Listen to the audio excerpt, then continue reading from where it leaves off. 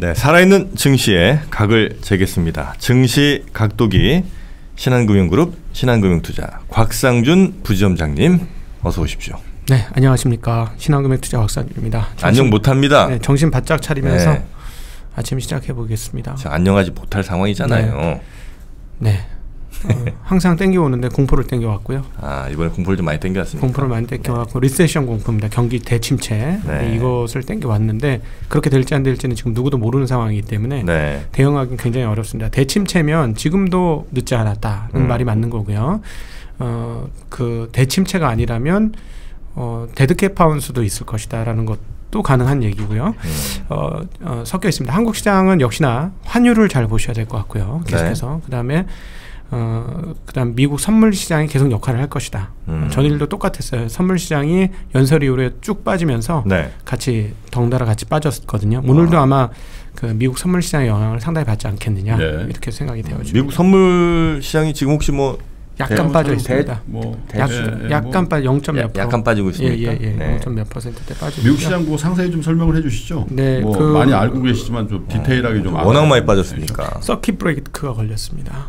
어제 시작하자마자 예, 선물 네. 시장에서 이미 5% 정도 빠졌었기 때문에 서킷 브레이크면 잠깐 거래 네. 중지인 거죠? 그렇죠. 7%첫 번째는 1차 레벨 1은 7% 빠졌을 때 15분간 음. 3시 25분 잠깐 모든 종목 네. 네, 그렇죠. 15분간 네. 거래가 중단되는 거고요. 레벨 2는 13% 이상 하락했을 때 이것도 역시 3시 25분 전일 경우는 15분간 중단, 레벨 3의 경우는 20% 이상 하락했을 때. 왜냐하면 음. 여기는 가격 제한 폭이 없기 때문에 어 뭐 프로그램 매매가 매매를 매도를 부르는 게 있지 않습니까? 네. 그러니까 막 그 서로 팔려고 하다가 정신없이 파는 경우가 있어서 음. 그걸 진정시키기 위해서 이런 제도를 두고 있습니다. 가격 어제 우리 뭐 사이드카가 발생했는데 어제 우리 같은 네. 경우는 이제 사이드카라는 제도가 또 있어요. 네. 이제 프로그램 매수 매도가 네. 중단되는 겁니다. 사이드카는 프로그램만 중단시키는 예, 거예요? 예, 예. 음. 네. 개인들이 사는 건 상관없고. 관계 없고요. 네. 네. 이게 그 어, 정말 오랜만에 있었던 일이죠. 그 70, 아 87년도 블랙 먼데이 때문에 이게 제도가 생겼거든요. 음. 네, 근데 정말 오랜만에 있었고 블랙 먼데이 이후로 최대 낙폭이었고요. 네. 지금 분위기는 이게 블랙 먼데이 또는 9.11 테러 정도 수준. 그래도 여기서 조금 더 가면 2008년도 리먼 사태 뭐 이런 정도의 급으로 음. 지금 시장이 해석하기 시작한 겁니다. 네. 어, 일단 정책의 정책 이안 먹히기 시작한 게 가장 큰 문제고요. 음. 제, 제가 지금 와서 이제 그 우리가 복귀를 해보면 유가 하락한 게 가장 컸습니다. 유가 하락을 할, 하면서 음, 어, 이거는 푹 빠질 때요. 네, 그때 네. 아 이제는 모든 정책이 필요 없어. 막 이런 생각을 하는 거죠. 그래서 결국은 어, 이 지금 어, 공포는 현재형이고 정책은 미래형이에요. 그래서 어제도 말씀드렸지만 이 미스매치가 계속 나오고 있는 상황이라서 공포감이 현재를 짓누르는 것이고 음. 뭐, 뭐 백신도 약간 미래형이지 않습니까? 네. 예를 들어 여기서 백신이 나온다던가 이렇게 되면 또 뭐 분위기는 확 바뀔 수도 있는데 음. 어, 그런 것들이 이제 그 현재 상황에서의 공포를 해결해 줄 수 있는 방안이 없다라고 시장이 생각하니까 공포에 짓눌리면서 하락을 했는데 얼마나 웃기냐면 최고 상승 종목이 마이너스예요. 어디가요? 미국 시장에서. 아 최고 오른 종목 이 하나가 없다는 거예요? 두 종목이 있더라고요. 0% 오른 거, 그다음 0.1% 오른 거, 그다음 마이너스 1% 오른 게 세 번째 상승 종목이에요.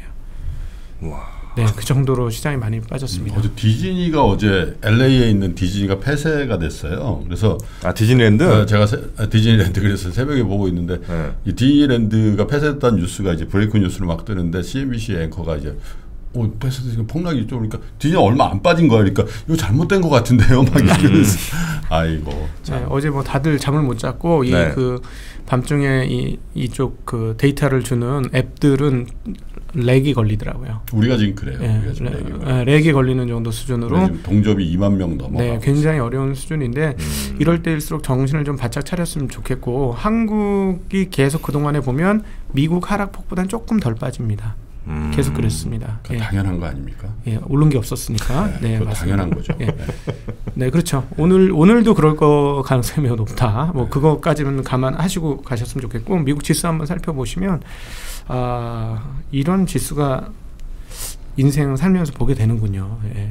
아 곽도기님도 처음입니까? 어, 기억이 이게 10년 정도 지나면 기억에서 없어지거든요. 네. 이제 머리에서 깨끗하게 지워졌는데 새롭게 지금 박히고 있는 상황인데 음. S&P 500은 무려 9.5%, 다우 9.99, 나스닥 9.43, 러셀은 11.83 그래서 중소형주들의 타격이 더 컸고요. 음. 음, 사실은 전일 그 영란은행에서 50bp 내리고 300억 파운드 했는데도 불구하고 시장이 빠졌잖아요. 네. 그 연장선이다 하는데 거기다가 이제 그 그 뭐 입국 금지 시킨 게 저는 제일 컸다고 느껴져요. 그렇죠. 아, 어제 그때부터 뭐. 네, 그때부터 난리가 난 거거든요. 음, 그러니까 누구도 예상하지 못했지. 네, 이 리세션을 일으킬 수 있는 근거 중에 하나가 음. 신용 위험이 있습니다. 신용 음. 위험이 있지만 지금 되게 어, 은행들이 그렇게 옛날처럼 나쁘지 않은 상황이니까 네. 어, 그건 뭐 가능은 한데 뭐 모르겠어 가봐야 알아 이렇게 되는데 어, 경기 침체를 일으키려면 글로벌 교육을 딱 끊어버리면 네. 경기 침체가 올 수 있잖아요. 음. 근데 그거가 보였다는 거죠. 어제 입국 금지 한 달로 사람들이 그걸 상상하기 시작했던 거예요. 아 글로벌 교육이 끊기면서 글로벌 경기 침체로 가는구나 이 생각을 하면서 막 잡아 당긴 거예요. 음. 그러면 결국 뒤집어서 풀려면 만약에 예를 들자면 뭐 그럴 것 같지는 전혀 않지만 음. 뭐 중국하고의 그 교육을 다시 한번 활성화하기 위해서 낮춰줬던 뭐 예를 들어 관세를 좀 높여주겠다 이런 얘기하면 또 시장 확 뒤집어질 수도 있겠죠. 네. 근데 이거는 그냥 상상입니다. 음. 네. 어쨌든 그렇게 나쁜 것들을 다 땡겨 있는 상황이고요. 그다음 유럽 시장 그래서 더 많이 빠졌습니다. 10%대 이상. 음, 국가 지수가 10%대 이상 빠지는 건 진짜 기억이 안 나요. 저는. 그래서 음. 유로스탁스는 12%, 어, FTSE는 10.87, 프랑스 12.28, 독일 12.24, 그리고 달러 지수는 가0.87 올라가면서 강세였습니다. 네. 어제 분위기가 뭐냐면 다 필요 없고 달러. 음. 달러가 많이 오르진 않았지만 다 필요 없고 달러 이런 분위기였어요. 네, 그래서 그 달러가 강세를 보여줬고 금값도 떨어졌거든요. 네. 그러니까 금값 금도 필요 없어 이렇게 된 거예요. 그냥 오직 달러. 그리고 음. 채권 가격도 보면 어 그 장기채 금리는 올랐고 단기채는 금리가 떨어뜨릴 거라고 예상하니까 단기채는 떨어졌지만 음. 장기채는 오히려 금리가 올랐어요. 가격이 떨어졌어요. 음. 네, 그런 상황이에요. 그러니까 이건 무슨 말이냐면 어, 채권도 필요 없고 오직 달러.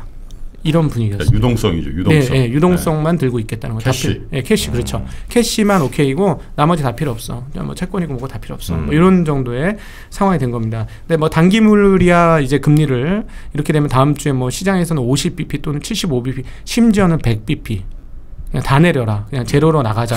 뭐 이런 지금 시장의 전망들이 있는 상황이거든요. 예. 그러다 보니까 이제 단기물은 당연히 좀 떨어지게 되는 것이고요. 예. 어, 장기물은 어, 금리가 오른 어, 그런 상황입니다.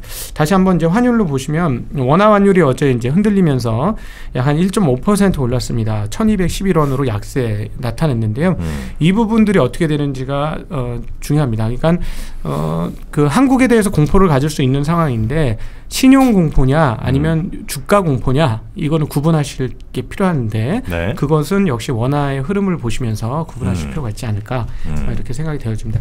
어, 위안도 약세였어요 0.8% 음, 그렇고 그다음에 이제 뭐 한국 금리물은 통과하셔도 될 것 같고 금값이 떨어졌습니다 1,578로 1,600대에서 네. 네 이것도 상당히 많은 한 3%폭 그리고 상당히 큰 폭으로 음. 아, 하락을 했고요. WTI는 1.23% 하락했고 구리도 1.2%, 상하이는 1.5%, 항생이 이제 많이 빠집니다. 항생이 음. 우리나라와 좀 동행성이 있었는데 어제 3.6% 빠졌고요.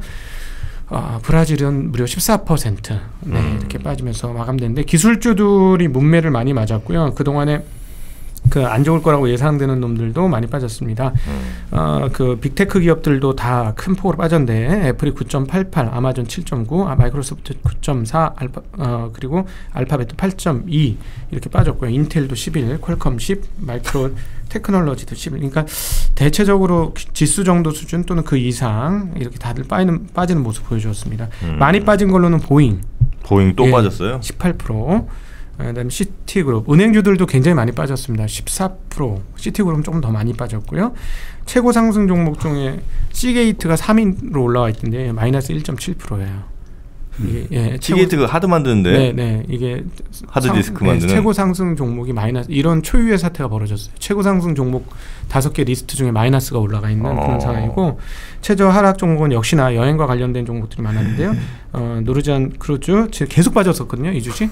여기서 또 추가로 35% 빠졌고 어, 캐러비안 어, 3, 31% 마라 마라톤 페트롤륨 27%에서 음, 굉장히 그 황당한 상황으로 어, 지금 장이 마감되었습니다. 미국 시장이. 어... 네. 근데 뭐 지표가 그렇게 나쁘게 나오냐 고용률이나 이런 것들은 네. 또 그렇게 나쁘진 않아요. 그러니까 이게 계속 어, 뭐가 맞느냐 하는 음. 미스매치가 계속 나고 있는 네. 어, 그런 상황이라는 거죠. 그러니까 어, 단기적으로 빠진 것은 어, 불안하고 불안이 축복되면서 빠진 것은 오케이인데 그러면 경기가 안 좋은 거냐? 그건 아니다. 그럼 무슨 말이냐? 미래가 앞으로 경기가 안 좋을 거를 쭉쭉 잡아 당기고 있는 음. 거예요. 그러니까 앞으로 3, 2분기 실적 뭐 엉망될 거고 그 다음에 글로벌 교역이 정지가 되면 이거는 이제 본격적인 경기 침체가 올 거고 이걸 그냥 다 갖다 지금 네. 쏟아붓고 있는 거예요 시장에. 음. 어. 그래서 과연 이걸 그대로 해석해야 되느냐 하는 고민이 있는 거죠. 음. 네. 그래서 어, 냉정하게 얘기하면 그래요. 음, 정말로 경기 침체, 리세션으로 온다. 음. 사실 좀 먼 얘기입니다. 저는 상당히 먼 얘기라고 생각을 하는데 음. 그렇다면 뭐 우리 예전에 봤습니다만 2008년도 리만 사태 때 장 빠지는 거 보면 무섭게 빠지잖아요. 네. 그러면 지금도 좋은 시점일 수 있는 거죠. 그죠? 팔수 있는 좋은 음. 시점일 수 있어요. 그러나 그런 리세, 수 있는 좋은 시점 리세션이 오면 어. 예, 경, 주가 반토막 나니까.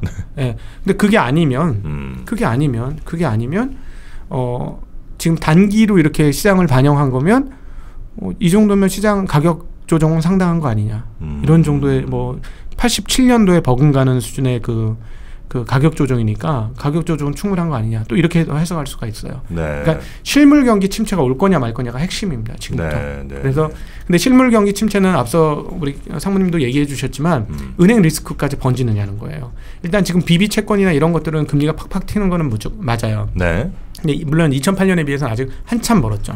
한참 멀었는데 금리가 튀고 있는 건 맞고 그런 불안들이 시장에 반영되고 있는 건 맞는데 리세션까지 지금 얘기하기에는 어, 너무 너무 많이 땡겨온 것 같아요. 근데 음. 시장은 어쨌든 리서치는 오늘 땡겨온 예. 거예요. 네, 음. 그렇습니다. 네. 자, 아니 근데 지금 막 숫자 왔다 갔다 하는 이거는 뭡니까? 뭐 우리나라 아, 개장전 개장전 저희 관심 종목 그 종목들의 개장전 호가를 보고 있는데 아. 이 그 사자가 없는 종목들이 굉장히 많이 나오고 있고요. 네. 네. 물론 이제 뭐 이거는 뭐 개장 전이니까 이제 코덱스 뭐 이런 지수를 추정하는 네. 어, 이런 거 인버스 이런 것들이 뭐 거의 에, 7, 8% 이렇게 에, 올라가고 또 반대 방향에서 내려가고 그러고 있는데 어쨌든 음. 굉장히 에, 공포스러운 개장 전 15분인 것 같습니다. 네. 워렌 버핏이 작년 11월에 현금 150조를 역사상 최대 현금 보유를 했었습니다. 작년 12월에요? 11월에. 네. 음. 네 11월에. 현금 보유를 그렇게 늘렸다는 거죠? 네, 최대한 많이 늘렸었고 그때 가격이 비쌌기 때문에 그랬다고 했었습니다. 지금 무슨 생각할지 정말 궁금합니다. 음. 네. 알겠습니다. 자, 이번 한 주 아주 힘든 한 주셨을 텐데 네, 그래도 또 매일매일 이렇게 저희와 함께 증시 각지해 주셔서 대단히 감사하고요. 네. 오늘 회사 네. 잘 출근하십시오. 네, 다들 힘내십시오. 네, 고맙습니다. 고맙습니다. 네, 감사합니다.